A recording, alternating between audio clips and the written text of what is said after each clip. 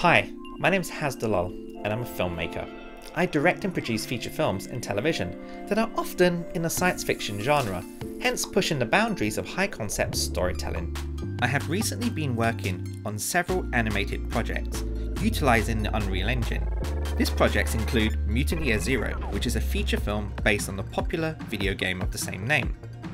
So when it came to finding a professional display monitor for an affordable price point, I looked at the 32 inch Asus ProArt display PA32 UCX P series. As a visual driven filmmaker, the things that are really important to me includes 4K true 10-bit color depth display. That's to give me the best visual fidelity when working inside the Unreal Engine in order for me to create the high-end animated scenes right through to post-production using DaVinci Resolve. All of the projects that come out of my production company are commercial products. Therefore, they're going to end up on a streaming site or a distribution site that is aimed for the audience.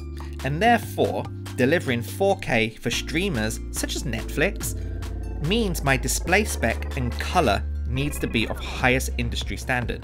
That is in order for my films to pass any technical quality control checks that usually takes place when a distributor takes your film in order to release it. Now luckily for me, the Asus ProArt actually comes with a professional calibrator. That puts my mind at ease a lot, knowing that what I'm creating at my home studio is going to pass the QC checks when they're passed onto a distributor and eventually to the audience.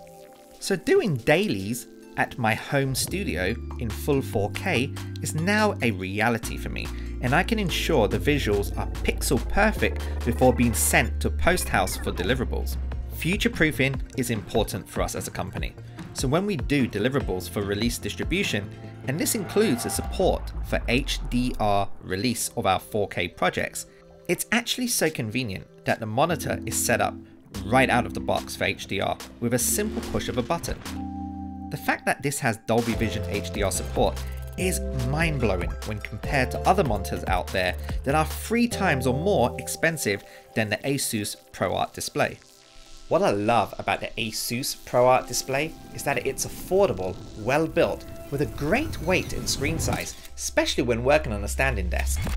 The colours and contrast displayed are beautiful and sharp. It actually empowers me as a hands-on director to really focus on creating the best visuals I can to tell my stories.